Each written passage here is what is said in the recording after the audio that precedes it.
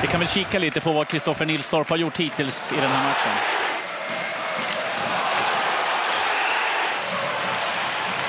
Ja, han har gjort fantastiskt mycket bra och det, han har varit väldigt bra i position. Inte alls lika flaxig, hamnar på mage och på rygg som jag kritiserat honom för tidigare. Utan här hamnar han på magen och tar han sin egen retur.